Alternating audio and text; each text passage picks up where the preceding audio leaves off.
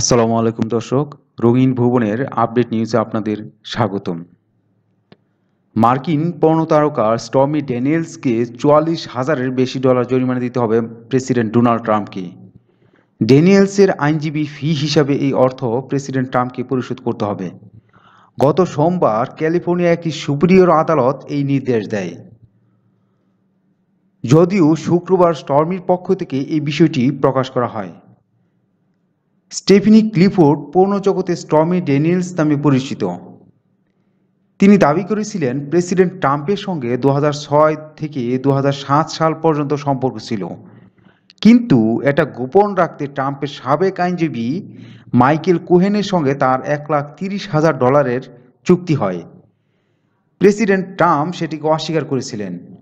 পরে stormy Daniel দু সালের ট্রাম্পের বিরুদ্ধে মামলা করেন এবং চুক্তি প্রকাশের দাবি জানান।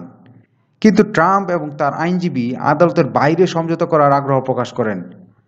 চুক্তিও প্রকাশ করতে চাননি। পরে ড্যানিয়েলস তার আইনি খরচ দাবি করেন। দর্শক, ভিডিওটি দেখার জন্য ধন্যবাদ। আর ভিডিওটি যদি ভালো লেগে থাকে, তাহলে আমার এই চ্যানেলটি আশা করি সাবস্ক্রাইব করবেন। আর যদি কোথাও ভালো না লেগে থাকে, তাহলে কমেন্টস বক্সে জানাবেন। অসংখ্য ধন্যবাদ।